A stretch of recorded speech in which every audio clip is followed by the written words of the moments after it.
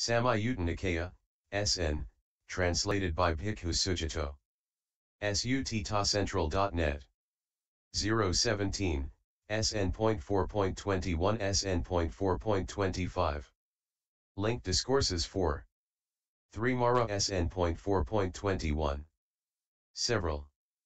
So I have heard. At one time the Buddha was staying in the land of the Sakyans near Silavati. Now at that time several mendicants were meditating not far from the Buddha, diligent, keen, and resolute. Then Mara the wicked manifested in the form of a Brahmin with a large matted dreadlock, wearing an antelope hide. He was old, bent double, wheezing, and held a staff made of cluster fig tree wood. He went up to those mendicants and said, You've gone forth while young, reverence.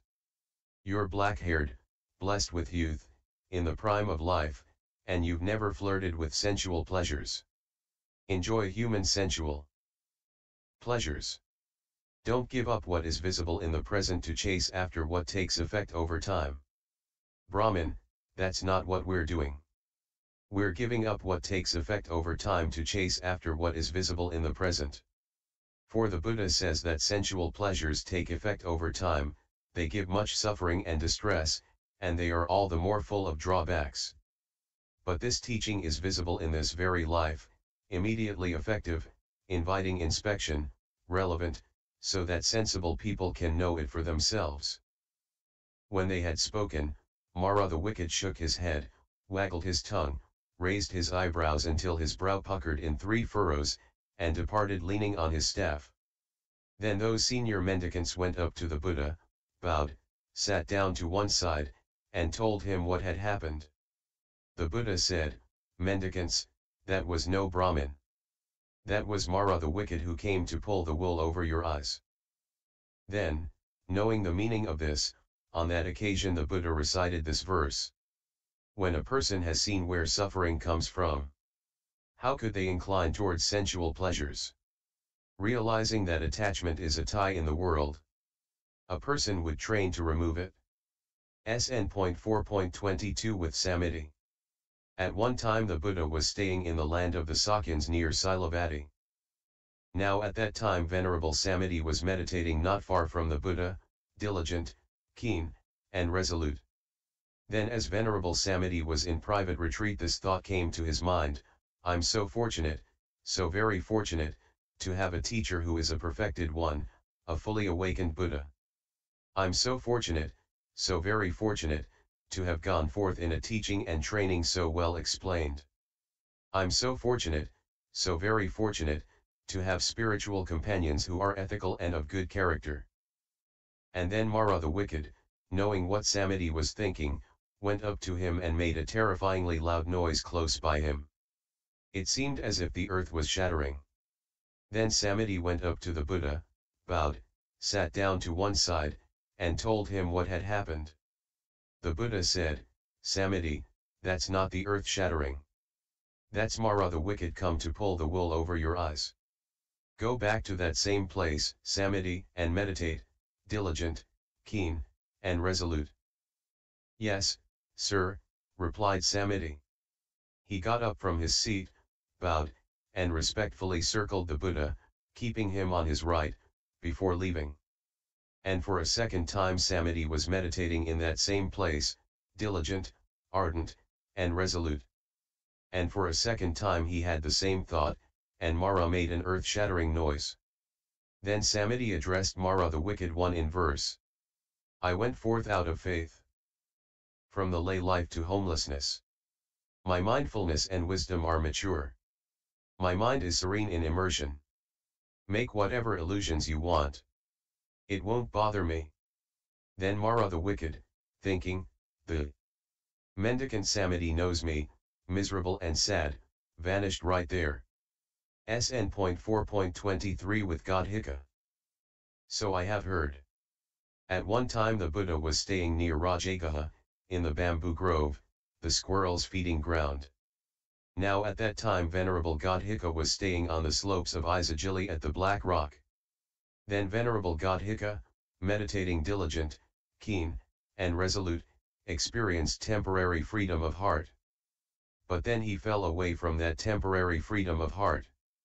For a second, third, fourth, fifth, sixth time Godhika experienced temporary freedom of heart. But for a sixth time he fell away from it. For a seventh time. Godhika, meditating diligent, keen, and resolute, experienced temporary freedom of heart. Then he thought, I've fallen away from this temporary freedom of heart no less than six times. Why don't I slit my wrists? And then Mara the wicked, knowing what Godhika was thinking, went up to the Buddha and addressed him in verse. O great hero, O greatly wise! Shining with power and glory? You've gone beyond all threats and perils. I bow to your feet, O seer. Great hero, master of death. Your disciple longs for death. He's planning for it. Stop him, O light bringer. For how, blessed one, can a disciple of yours? One who loves your teaching. A trainee who hasn't achieved their hearts. Desire, take his own life, O renowned one. Now at that time Venerable Godhika had already slit his wrists. Then the Buddha, knowing that this was Mara the wicked, addressed him in verse. This is how the wise act. For they don't long for life. Having plucked out craving, root, and all. Godhika is extinguished. Then the Buddha said to the mendicants. Come, mendicants, let's go to the black rock on the slopes of Isigili where Godhika, who came from a good family, slit his wrists. Yes, sir, they replied. Then the Buddha together with several mendicants went to the black rock on the slopes of Isigili. The Buddha saw Godhika off in the distance lying on his cot, having cast off the aggregates. Now at that time a cloud of black smoke was moving east, west, north, south, above, below, and in between. Then the Buddha said to the mendicants. Mendicants, do you see that cloud of black smoke moving east, west, north, south, above, below, and in between. Yes, sir. That's Mara the wicked searching for Godhika's consciousness, wondering, where is Godhika's consciousness established? But since his consciousness is not established, Godhika is extinguished. Then Mara, carrying his harp of yellow wood apple, went up to the Buddha and addressed him in verse. Above, below, and all around in the four quarters and in between. I've been searching without success. Where has that god Godhika got to? He was a wise and steadfast sage. A meditator who loved to practice absorption. By day and by night he applied himself. Without concern for his life. He defeated the army of death. And won't return for any future life. Having plucked out craving root and all. Godhika is extinguished stricken with sorrow. His harp dropping from his armpit. That spirit, downcast. Vanished right there. SN point 4.24 7 years of following. So I have heard. At one time the Buddha was staying near Uruvela at the goatherd's banyan tree on the bank of the Neranjara river. Now at that time Mara the wicked had been following the Buddha for seven years hoping to find a vulnerability without success. Then Mara the wicked went up to the Buddha and addressed him in verse. Are you overwhelmed by sorrow that you meditate in the forest? Have you lost a fortune, or do you long for one? Or perhaps you've committed some crime in the village. Why don't you get too close to people? And why does no one get close to you? I've dug out the root of sorrow completely. I practice absorption free of guilt or sorrow. I've cut off all greed and hunger for future lives. Undefiled, I practice absorption, O kinsman of the negligent. The things they call mine. And those who say it's mine. If your mind remains there. You won't escape me, ascetic. The things they speak of aren't mine. I'm not someone who speaks like that. So know this, wicked one. You won't even see the path I take. If you've discovered the path that's safe, and leads to the deathless, go and walk that path alone. Why teach it to anyone else? Those crossing to the far shore. Ask what's beyond the domain of death. When I'm asked, I explain to them. The truth without attachments. Sir, suppose there was a lotus pond not far from a town or village, and a crab lived there. Then several boys or girls would leave the town or village and go to the pond, where they'd pull out the crab and put it on dry land. Whenever that crab extended a claw, those boys or girls would snap, crack, and break it off with a stick or a stone. And when that crab's claws had all been snapped, cracked, and broken off it wouldn't be able to return down into that lotus pond. In the same way, sir, the Buddha has snapped, cracked, and broken off all my tricks, dodges, and evasions. Now I'm not able to approach the Buddha again in hopes of finding a vulnerability. Then Mara the wicked recited these verses of disappointment in the Buddha's presence. A crow once circled a stone. That looked like a lump of fat. Perhaps I'll find something tender, it thought. Perhaps there's something tasty. But it didn't find anything tasty. So the crow left that place. Like the crow that pecked the stone. I leave Gotama disappointed. SN.4.25 Mara's daughters. And then Mara the wicked, after reciting these verses of disillusionment in the Buddha's presence, left that place. He sat cross-legged on the ground not far from the Buddha, silent, embarrassed, shoulders drooping, downcast, depressed, with nothing to say, scratching the ground with a stick. Then Mara's daughters craving, delight, and lust went up to Mara the wicked, and addressed him in verse. Why so downhearted, Dad? What man are you upset about? We'll catch him with the snare of lust. Like an elephant in the wild. We'll tie him up and bring him back. He'll fall under your sway. In this world he is the perfected one, the holy one. He's not easily seduced by lust. He has gone beyond Mara's sovereignty. That's why I'm so upset. Then Mara's daughters craving, delight, and lust went up to the Buddha, and said to him, We serve at your feet, ascetic. But the Buddha ignored them, since he was freed with the supreme ending of attachments. Then craving, delight, and lust withdrew to one side to think up a plan.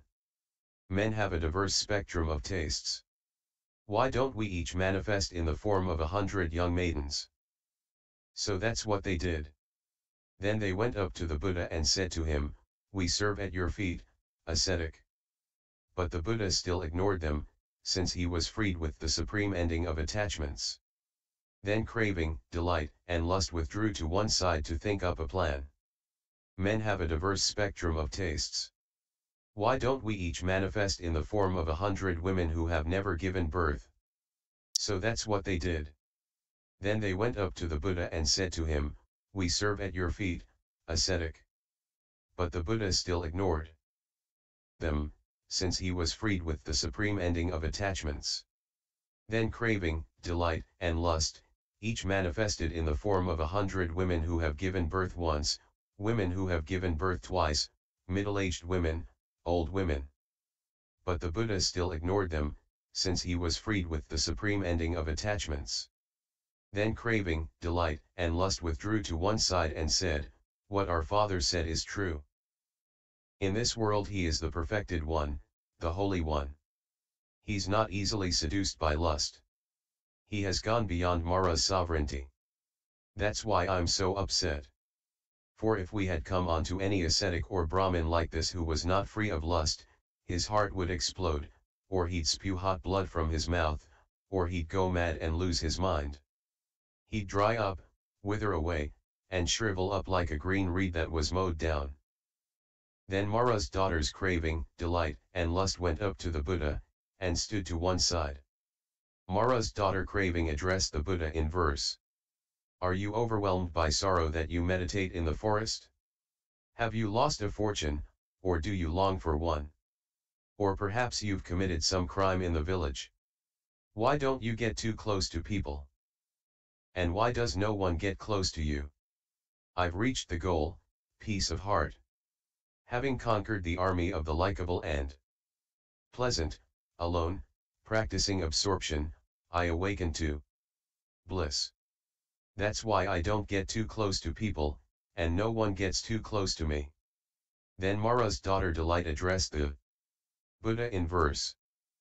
How does a mendicant who has crossed five floods usually meditate here while crossing the sixth? How do they usually practice absorption so that sensual perceptions are kept out and don't get hold of them? With tranquil body and mind well freed, without making plans, mindful, homeless, understanding the teaching, they practice absorption without placing the mind. They're not shaking or drifting or rigid. That's how a mendicant who has crossed five floods usually meditates here while crossing the sixth. That's how they usually practice absorption so that sensual perceptions are kept out and don't get hold of them. Then Mara's daughter Lust addressed the Buddha in verse, he lives with his community after cutting off craving and many of the faithful will cross over for sure. Alas, this homeless one will snatch many men away, and lead them past the king of death. The great heroes they lead by means of the true teaching. When the realized ones are leading by the teaching, how could anyone who knows be jealous?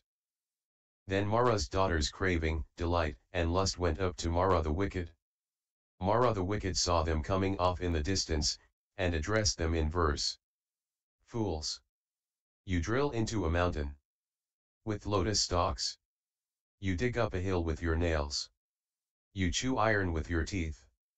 You seek a footing in the deeps, as it were. While lifting a rock with your head. After attacking a stump with your breast, as it were. You leave Gotama disappointed. They came in their splendor. Craving, delight, and lust but the teacher brushed them off right there. Like the breeze, a fallen tuft. The linked discourses with Mara are complete. End SN 017.